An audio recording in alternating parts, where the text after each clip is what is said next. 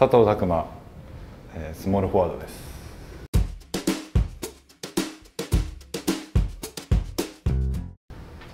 じゃあこれから僕60秒間ひたすら質問していくので、はい、あの直感で答えてください。はい。それではいきます。勝負飯は？カレーライス、えー、座右の銘は？死ぬこと以外かすり傷。一日多かったら何する？海に行って安らぐ。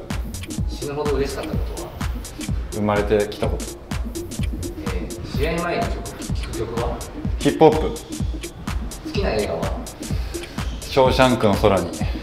バスケ選手以外何になりたかった？えー、サッカー選手。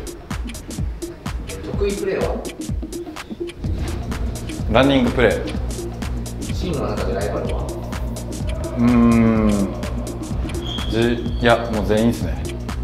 今シーズン個人の目標は？2連覇に貢献することです。ここだけは負けないアピールポイントのバスケットはうーんめげない。じゃあバスケ人生で一番嬉しかったこと？やっぱりプロになったことですね。はい。そこまでです。も終わりですか？終わりです。香辛料入ってるしなんかイチローさんとかも食べるじゃないですかど定番ですけど「ショーシャンクの空に」が一番今まで感動したんで何回ぐらい見てる？5回えさっきからなんか尋問してますよ。5回ぐらいですかね。56回。有名な言葉じゃないですか、はい、これが一番自分になってる。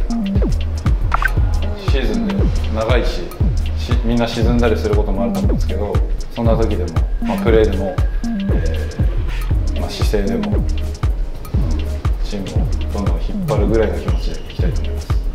優勝式ちなみに何聞いたの BTS 全然ヒップホップしなかっ